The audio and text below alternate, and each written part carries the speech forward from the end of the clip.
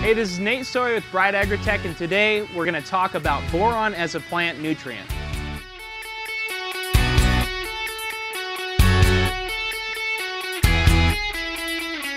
So, we got a few requests as part of our micronutrient series to really start talking about um, some of these lesser known micronutrients.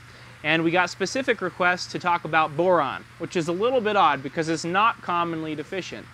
So boron is one of these elements that's usually fairly plentiful in aquaponic and hydroponic systems, but it can be deficient on occasion.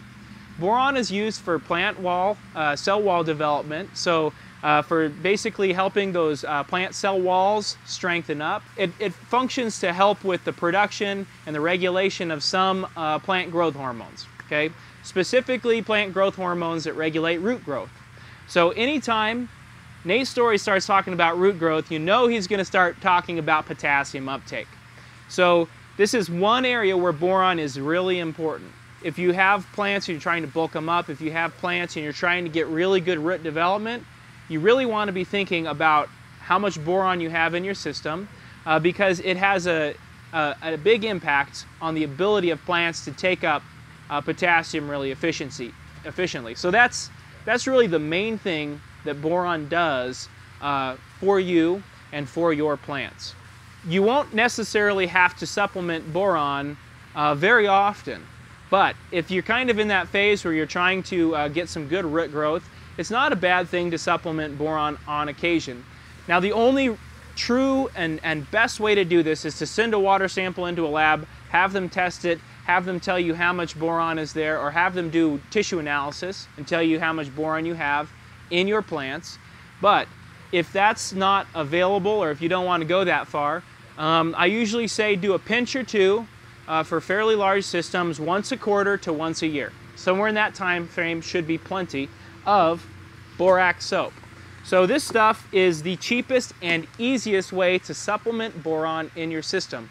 This stuff is about 10% boron, uh, 10 to 12% usually, and uh, it's, it's a great way to supplement boron because it's cheap. You can get it at Walmart, you can get it just about anywhere. Um, soil guys will mix about a tablespoon of this into a gallon of water and they'll spread it out over, you know, 100 square feet. Um, so little goes a really long ways with this. What I do is usually not even that um, precise. I'll just basically take a pinch of this soap and I will drop a pinch of this soap in once every several months. So maybe two to three months, my system gets this much boron.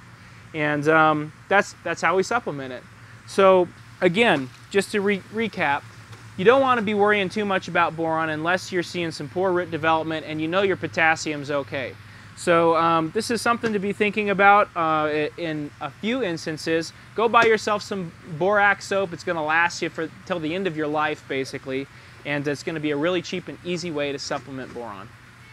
Thanks so much for watching. Stay tuned for the next video in our micronutrient series, and make sure you check out the Vertical Food blog for more details on boron and all of the other plant nutrients and how we manage them in hydroponic and aquaponic systems.